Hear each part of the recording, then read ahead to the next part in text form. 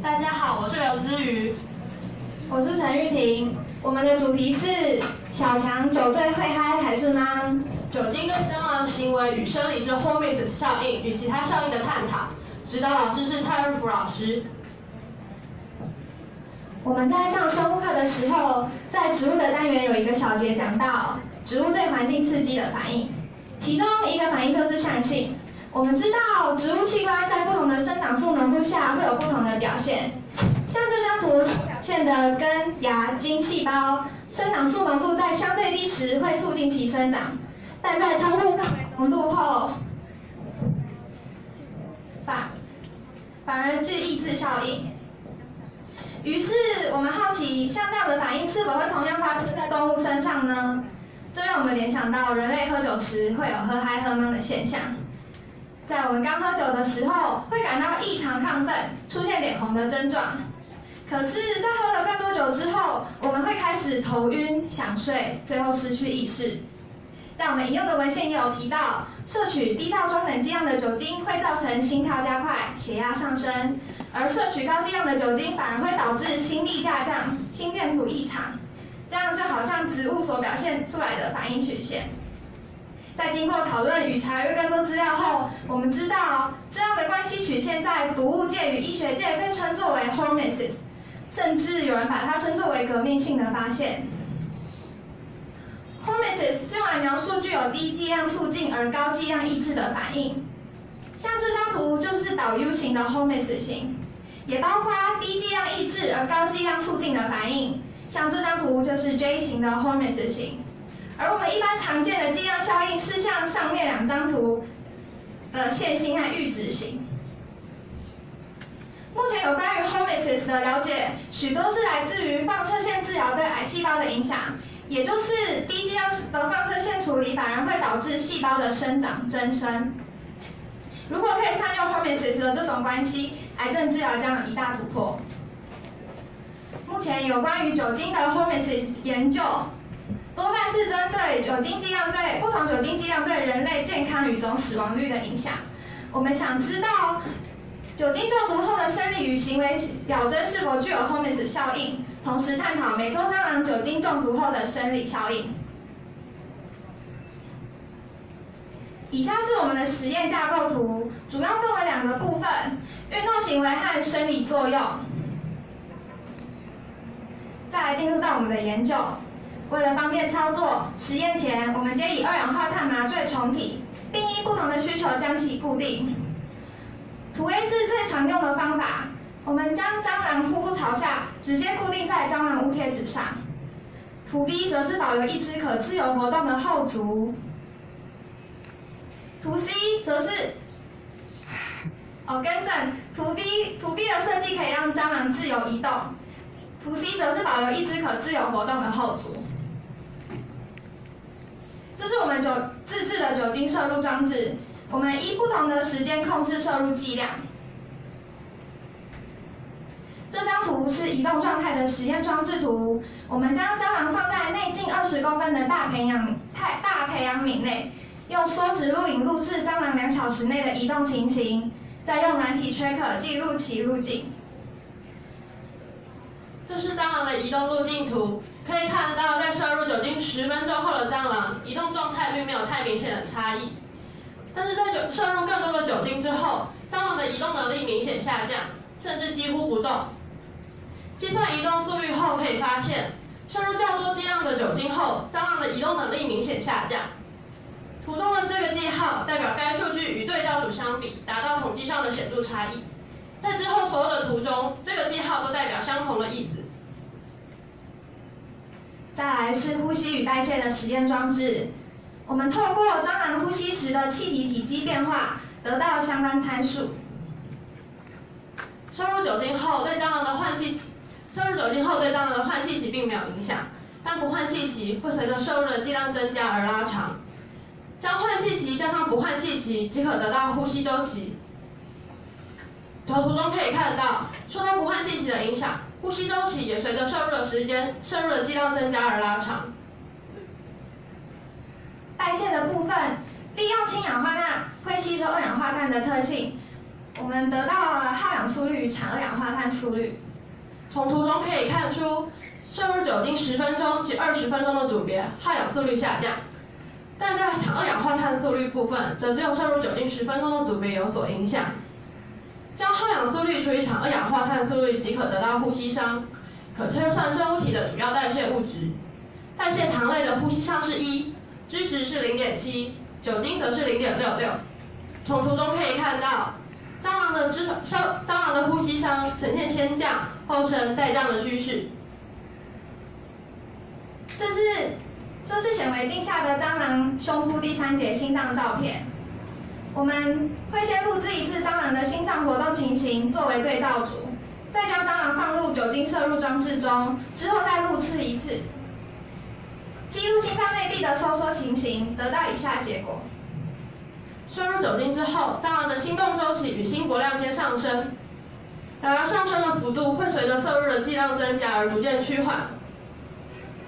将心动将心搏量乘以心跳速率，也就是心动周期的导数后，就可以得到心输出量。从图中可以看到，心输出量的趋势也与前列项指标是相同的。免疫反应实验是以包囊作用作为指标。将触角植入蟑螂体腔中，十五分钟后取出，以包囊截面积大小代表反应强弱。下面这张图就是经过包囊作用后的植入物照片。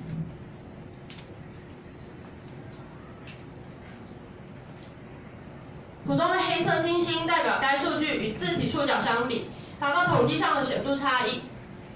从我们可以看到，摄入酒精二十分钟的组别，组别免疫反应明显被促进。脂肪体触酶活性的实验设计与前面的呼吸与代谢是相同的概念。透过触酶与过氧化氢的反应产生氧气，计算反应速率。这个实验我们还分成摄入酒精后五天五天，摄入酒精后五分钟后测试，以及一天后再进行测试两组，观察不同阶段的触媒活性差异。图中的白色星星代表该数据与摄入酒精后五分钟立即测试的组别相比，达到统计上的显著差异。我们可以看到，酒精确实会促进包，酒精确实会促进蟑螂的脂肪体触媒活性，且一天后再测试，活性对促进的幅度更加的明显。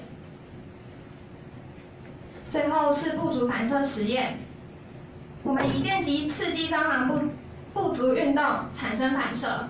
每只蟑螂电击十次后，剪除头部，再电击十次，记录后足这三点的坐标变化，得到以下结果。蟑螂在摄入酒精后，每次反射所需的时间缩短，且角度变化增加。计算角速度后得到这张图，可以看出酒精确实会使蟑螂的不足反射幅度增加。为了方便整理，我们将上面所有的实验结果汇整成这张表格。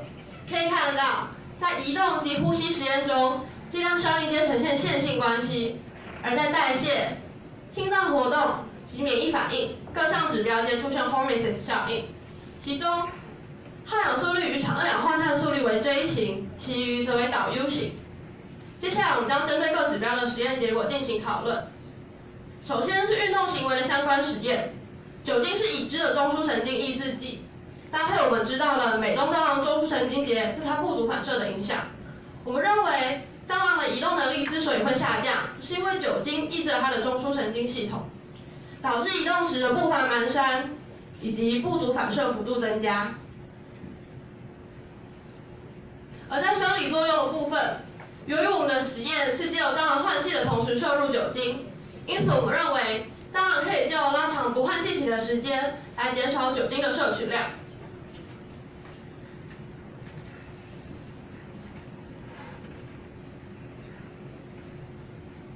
在代谢实验的部分，酒蟑螂在代谢酒精后，呼吸商会下降。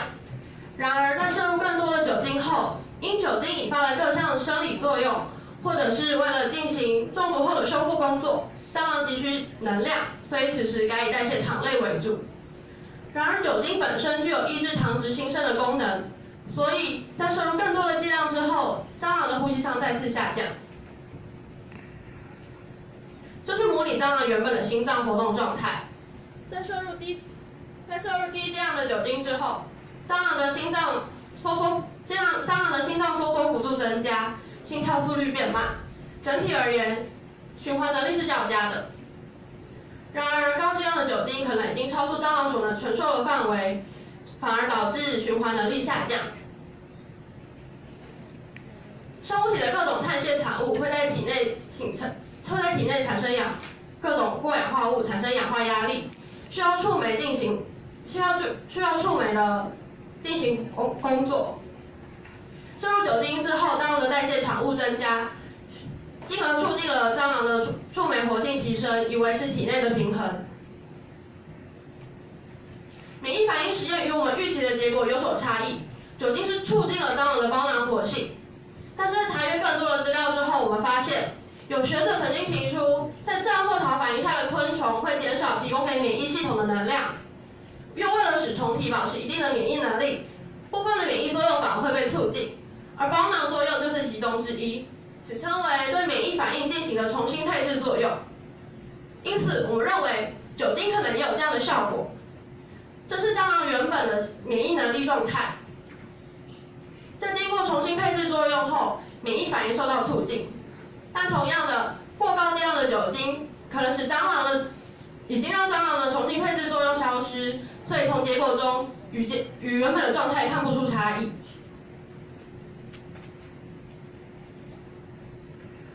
在免疫反应的实验中，我们发现酒精似乎与战或逃反应有所关联，所以我们将实验结果与它进行比较。却发现它与 quantum supply 低调与供应反应更为相似。相同的部分，我们以黄色的底色标示。quantum supply 被认为是战或逃反应的预备反应，是之前的实验蟑螂在接触警告费洛蒙后出现的各项生理特征。因此，我们推测，因为酒精与警告费洛蒙对蟑螂而言皆不是强烈且立即性的刺激，不足以引发战或逃反应。晶体，仅让蟑螂出现了 quantum supply 低调与供应，需要在进一步的逆境状态才能引发战或逃。说了这么多，还记得我们最一开始的疑问是什么吗？酒精中毒后的各项行为与生理特征是否同样具有 Hormesis 效应呢？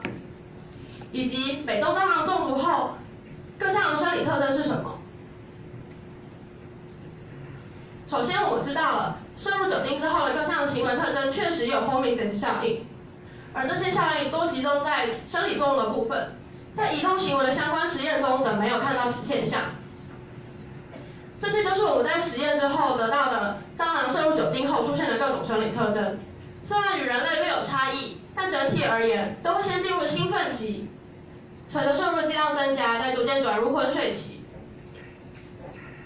在讨论实验结果过程中，我们也发现。酒精与战后逃反应有些许的关联，还可以引发战后逃反应的预备状态，快的低调与供应。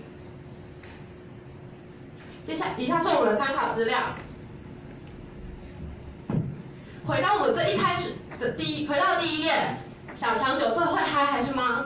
现在我可以告诉大家，小强跟人类一样，会先嗨，然后吗？